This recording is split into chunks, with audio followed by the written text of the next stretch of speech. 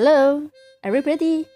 Have you ever wondered what nutrients you will get out of your black eye bean microgreens after growing for more than two weeks? I had that question in mind, so I kept my microgreen for six weeks and harvested for cooking. I noticed the taste was good and somehow similar to those harvested uh, at uh, uh, one to two weeks old. Um, it, it may have more fiber, but other than that, it's all right. It is for my personal interest to figure out whether there is any nutritional value for the mature leaf that I started looking into scientific papers. I used to work in a lab as a scientist, and I am happy to share with you what I found to be interesting. In my previous YouTube video, I demonstrated how you can grow black eye bean microgreen from germination to harvesting, and it normally took about a week. In this video, I will be showing you some data on the nutritional aspect of the mature leaf for this bean and hope to encourage you to grow some of the beans into more mature plants. I am sharing with you two papers published by some independent research groups about the nutritional value of the mature leaf of black eye bean that were harvested six weeks after planting.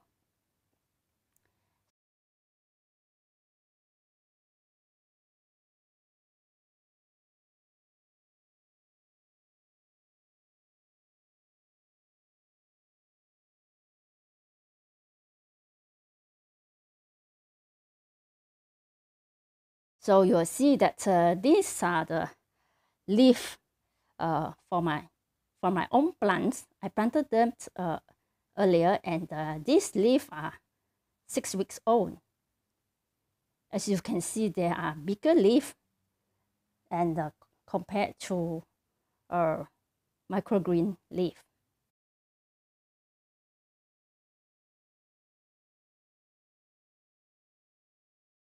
You may wonder why I selected only two papers to be shared. Here, the main reason is both of them tested the nutritional quality of mature plants at 6 weeks old. Many factors contribute to the nutritional quality of the leaf. Just to name a few, firstly, it can vary at different age. Secondly, it also depends on the quality of the crop and its species and thirdly, the quality of the soil is important too, etc. To make them comparable, I think, at least, the planting duration has to be the same, which is 6 weeks old.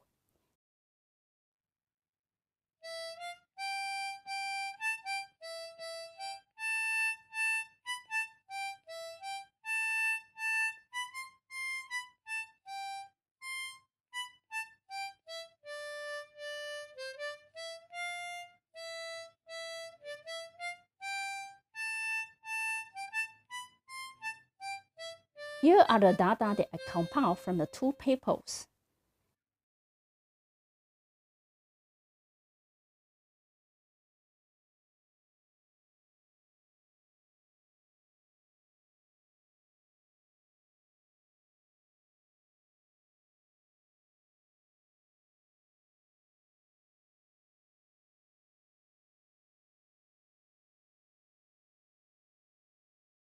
And you can see that uh, the first paper that has been published in 2014, uh, the researcher has studied iron and protein content.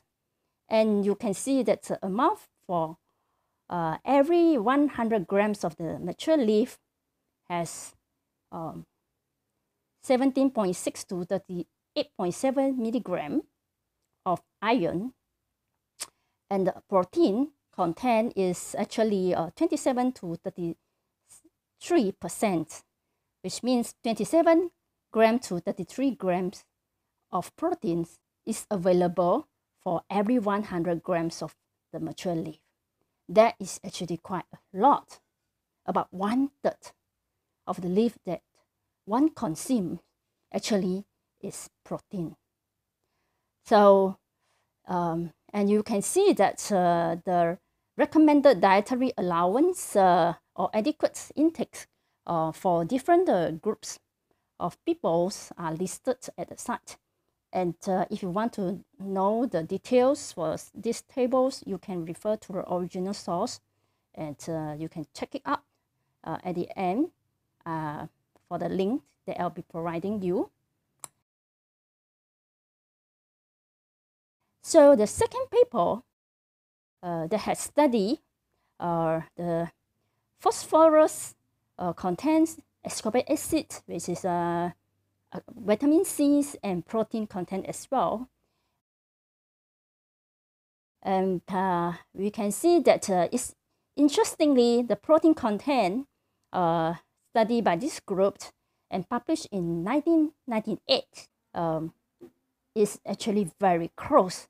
They found that the protein content is actually 27.1 to 34.7 grams of different species. So I would say that uh, it is safe to say one third of the mature leaf has about one third of the protein content if one were to consume some of the leaf in the diet.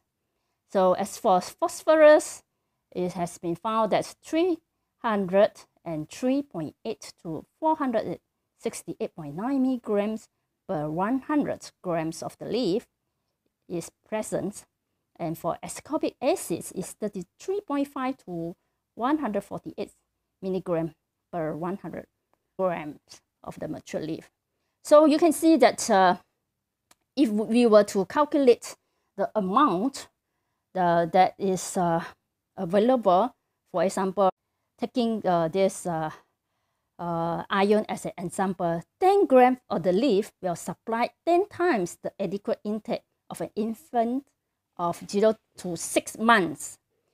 For meals, it will supply 25.6% to 35.2% of recommended dietary allowance for 9 years old and above meals. If you figure this way, one composition by one group of people, you will find that the leaf are very good source of nutritional needs for various group of people.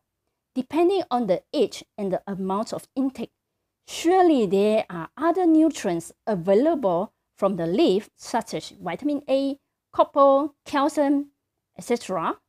But I hope this video is educational enough for you to see the amazing nutrients contribution of leaf to our human diet. Thank you for watching.